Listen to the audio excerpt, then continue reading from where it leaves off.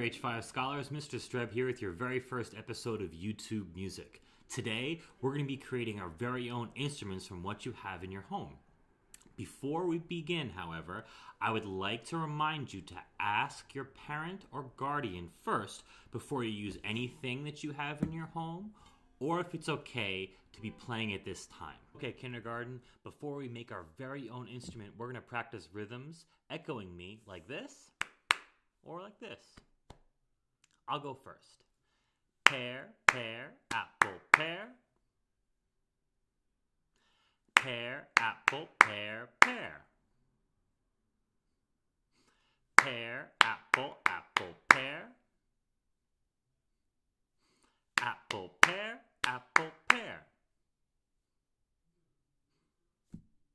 Great job. So let's get ready to make our very own instrument. I have three questions I want all of you scholars to ask yourselves about the sounds you are making. The first question Are you using your body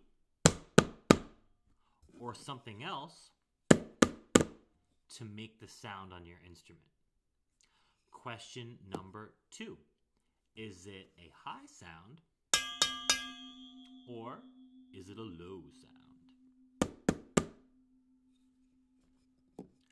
The last question, question number three, is about how long the sound is. Is it long? Or about how short the sound is. Is it a short sound? Hear how this one lasts a very long time and how this one this one was still going on, even when I hit this one, right? I had to use my hand to make it stop. So, when you choose your instrument, be thinking, do I want a long sound or a short sound? Do I want a high sound or do I want a low sound? Will I use something to make the sound or will I use myself to make the sound. There are no wrong answers here. It's about finding a sound that you want to make. There are another couple of ideas you can try. Spices that the top is definitely on tight.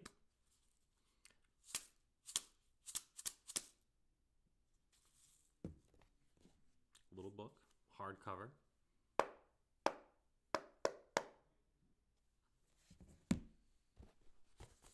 Tissue box.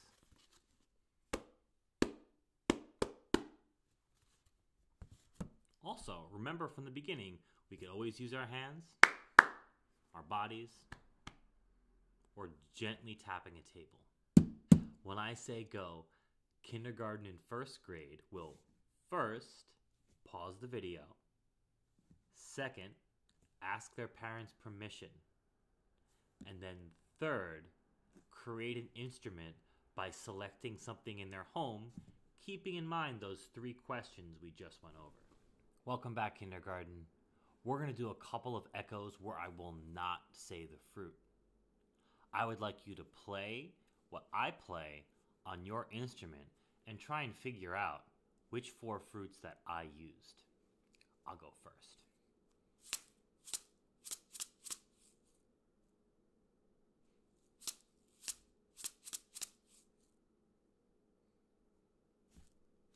Can you figure out what I just played? I'll give you a second to think. If you need more time, press pause now. Did you guess pear, pear, apple, pear?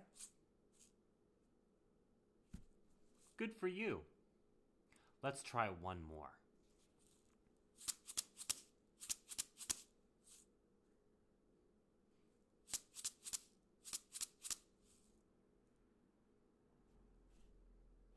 I'll give you a second to think. If you need more time, press pause. Did you guess apple, pear, apple, pear? Good for you. Well, that's all the time we have today, scholars.